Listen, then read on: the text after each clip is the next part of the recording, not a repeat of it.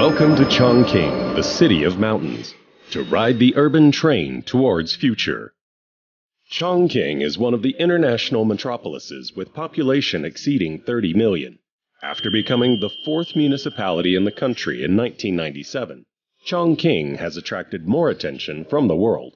From the perspective of population, Chongqing is a super megalopolis with a population larger than that in Australia. For a city with a population comparable to that of a country, the strategy to ensure the orderly flow of its citizens is to develop the city's rail transit according to local circumstances.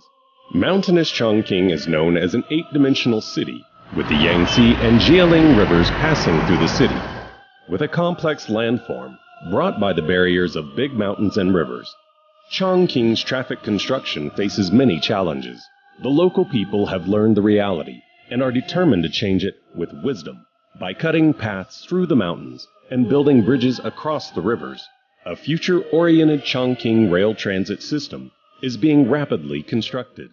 For Chongqing Railway Transit, monorail is a breakthrough, an achievement as well as a model in rail transit history.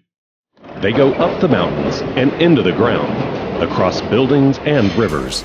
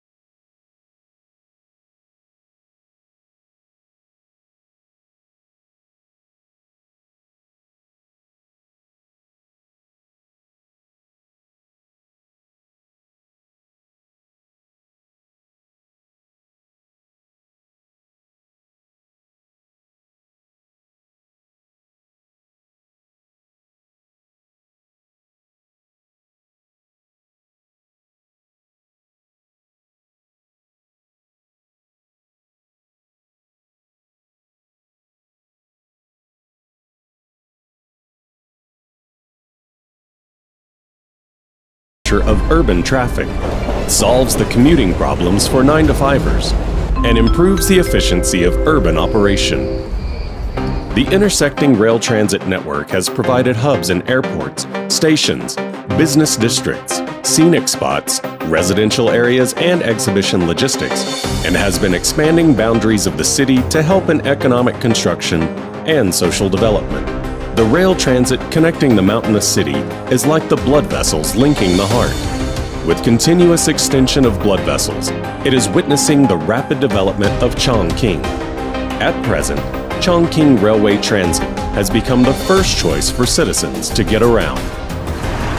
The Chongqing Railway Transit System covers 21 districts in Chongqing's urban area, bringing benefits for more than 20 million residents and the total economic volume has reached 1.8 trillion yuan, forming the core carrier of Chongqing as an international consumption destination. Chongqing's rail transit is just an example of China's infrastructure achievements. Like Chongqing, other cities in China have focused on future development and people's needs, and have invested in livelihood projects, bringing about great changes in infrastructure, including transportation. If you think this is a show, then you know too little about China. The record speaks for itself.